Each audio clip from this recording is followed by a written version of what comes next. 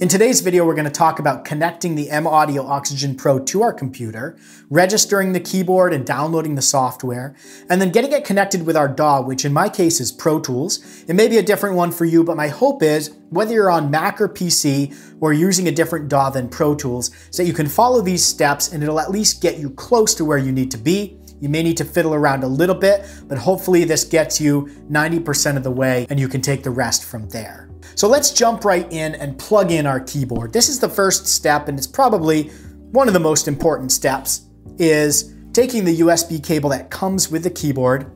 And on the back of the keyboard, you're gonna see a few different jacks. We've got a MIDI out, a USB, and a sustain. The MIDI out is for more of a traditional MIDI interface. If you've got an audio interface with MIDI capabilities, you could plug through there to use it with the computer or a MIDI to USB converter.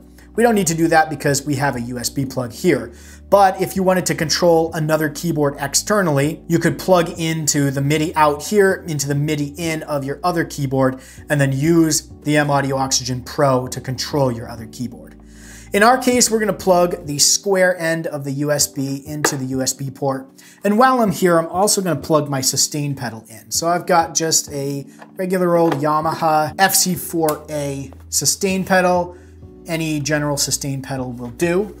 And we're gonna flip this back down here. Now that we've got this plugged in, we're gonna take the other end of the USB cable and we're gonna plug that into our USB port on the computer. Now I spent quite a bit of time yesterday playing around with getting it connected to the computer. So I'll be honest, I've gone through this whole process. I'll talk you through each step but in my case, I've already done this on my computer because I wanted to speak from experience. So in my case, I tried plugging it into all the ports of my computer. I had some issues right off the bat getting the transport controls to work, and I finally figured it out after messing around with it for a few hours, trying some different settings, and I'll share those with you in just a little bit. But what I found is in my case, it didn't matter which USB port I plugged it into. I just had to make sure it was plugged in and turned on before I turned on my DAW. Now, the first time you plug your keyboard in, Windows is gonna go through its normal looking for drivers, setting up your hardware. Because the Oxygen Pro uses the universal USB driver that comes with Windows, it'll just set it up and there's no additional drivers that you need to install in order to use the MIDI capabilities of the keyboard. So your controller should have come with this little card, which gives you instructions on how to get started. We're gonna switch over to the computer and I'll pull up that page and show you what that looks like. I'll also throw this link in the description below. So go to your browser, I'm gonna open this up and go to maudio.com forward slash software download. And what it's gonna say is thank you for purchasing your M-Audio product. If you don't have an account, you're gonna need to create an M-Audio account. You can do that using the link there. If you have one, then you log in. The next step is gonna be registering your hardware, which in our case is the Oxygen Pro. On the bottom of the keyboard, there's a sticker with the serial number. You're gonna need that in order to register it. Once you do that, you can go into your account and I'm gonna sign into mine. And once you've signed into your account, you're presented with a few options. One is My Products, and once you register your keyboard, you're gonna see a few pieces of software listed in that My Products section. If you haven't registered your product, you can click the register product link right there. So in My Products, the very first option is going to be this um, M Audio Software Manager. So you're gonna have to download that. It gives you the authorization code right there. Once that's downloaded, go ahead and open up the M Audio Sound Manager. That's gonna open up and present you with some options for instruments you can download, the applications that you can download. So this keyboard comes with MPC Beats. It comes with a version of Ableton Live Lite, and then it comes with a version of Pro Tools first. And so you can get any one of those by clicking get, it's gonna download it, and then you can click the install button, and that's gonna go ahead and install it on your computer. Because I already have the full version of Pro Tools, I'm not gonna download any of this software. I did download the Hybrid 3, Velvet, and Mini Grand because I wanted to be able to demonstrate, at least with a Mini Grand, some of the capabilities of the keyboard in my full review coming soon. So the last thing within the software manager is up here in the top left corner, there's this gear icon. Go ahead and click that and you've got an option here that says show advanced software. You're gonna have to check that in order to see the preset editor that comes with the Oxygen Pro. If I uncheck this, notice that you can't really see that there's a checkbox there on my screen. So it took me a little bit to mess around with this, clicking to figure out that, oh, there's a checkbox right there over in the right hand side. So fish around. If you don't see it, click around until you get that.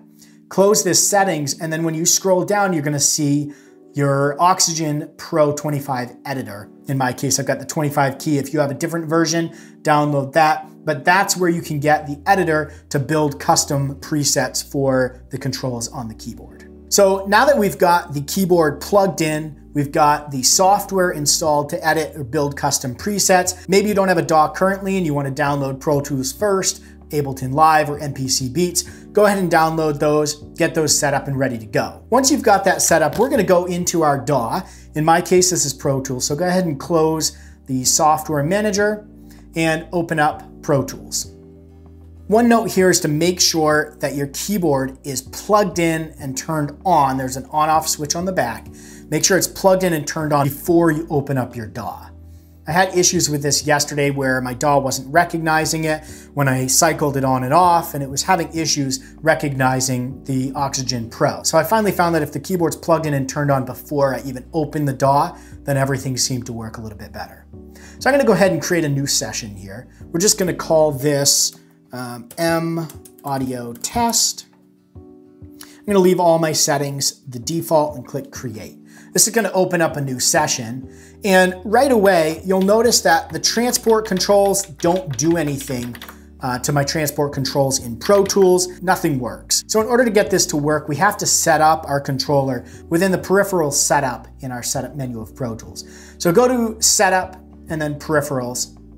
And this took me a few hours to figure out how to get this to work, but I finally got it by going to MIDI controllers and under type, one would think that you'd select M Audio keyboard. I could not get Pro Tools to communicate with the keyboard by selecting M Audio keyboard. What I had to do is use HUI. So the transport controls and some of the functions that are not really MIDI related, but more control related, are sent via Mackie HUI to your computer. And a lot of the common DAWs are able to take those control messages and translate those to the DAW. The keyboard itself comes with a bunch of presets for various DAWs. I'll show you that on the menu in a second. But let's go into HUI and in the receive from, you're gonna have to choose MIDI in three. In your send to, choose MIDI out three. And then in your channels, your only choice there is to choose channel 8.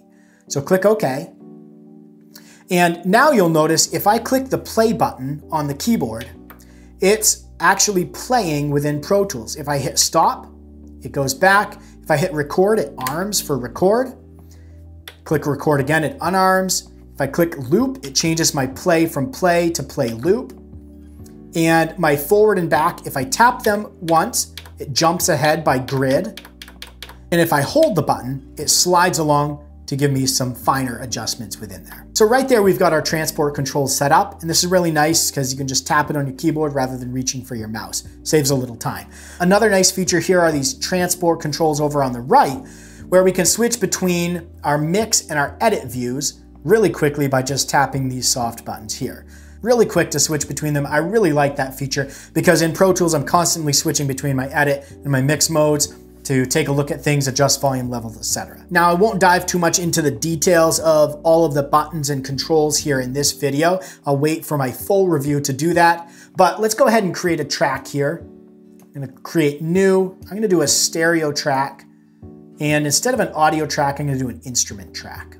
I'm gonna click create. Notice we didn't really do anything to set up the keyboard for transferring MIDI from the keys or the pads. Pro Tools is automatically gonna pick up the MIDI messages being sent. You shouldn't have to do any additional setup there. The only setup is on the transport control setup within the peripherals menu. If for some reason the MIDI's not working, make sure that you've armed the track because with Pro Tools, it's not gonna receive any messages unless you arm the track. Second, make sure that you have an instrument selected in your insert. So right here, we're gonna go and select Mini Grand just for this demo. It's gonna load right here. This little red bar is the loading. We'll wait till it's loaded to play it. But we need a virtual instrument and we need to arm the track here in order to play the instrument. So now we should be able to play the grand.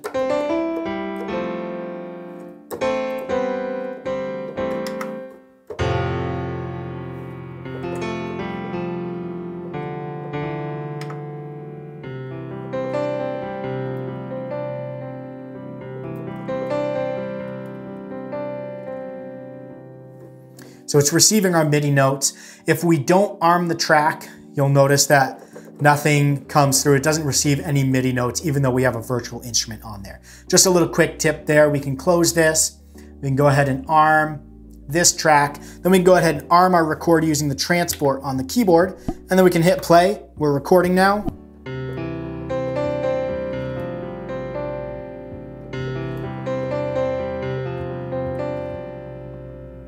We can hit stop, and then we can play that back.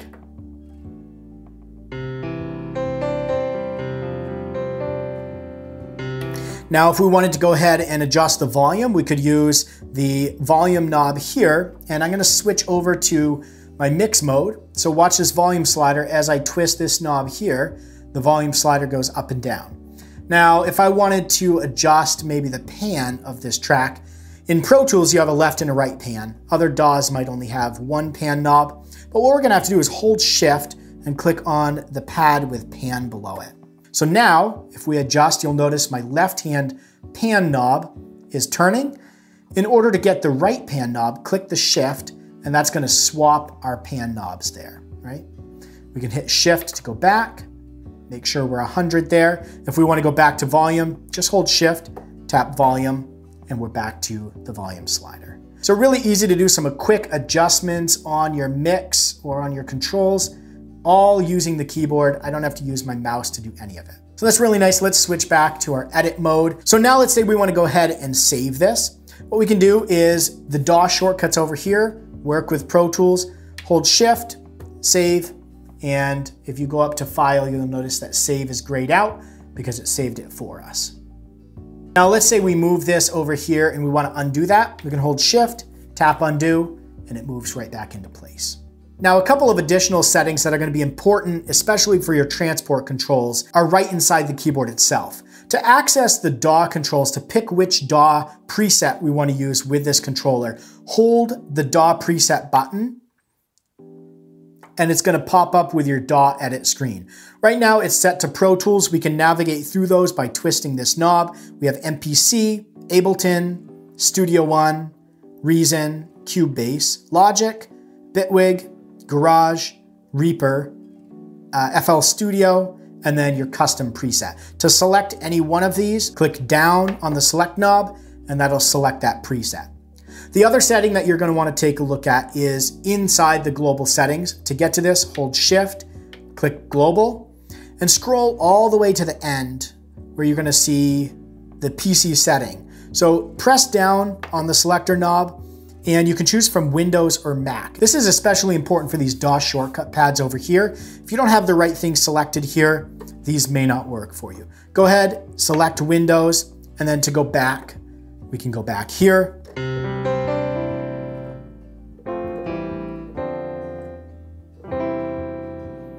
Again, if I wanna go ahead and save this, I can just hit save here. Boom, it's saved and we're good to go.